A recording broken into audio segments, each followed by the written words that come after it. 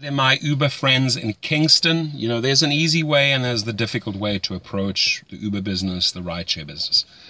The difficult way is you get in your car, you take trip after trip, day after day, week after week, and you accumulate little bits of knowledge along the way.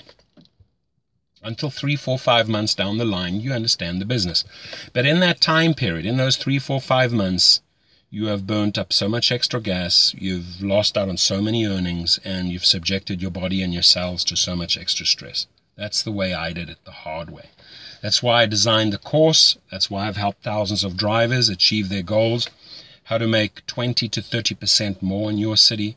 How to work smart, not how to work hard from day one, from trip one. That's what this course is about.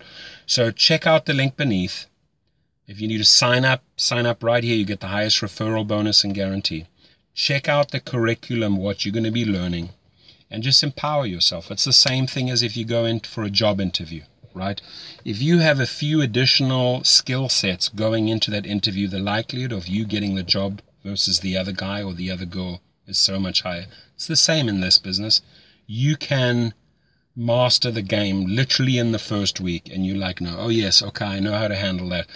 Here's the thing: Uber, Lyft, Juno, all of these rideshare companies don't don't teach you. They can't teach you because otherwise you'd be regarded as an employee.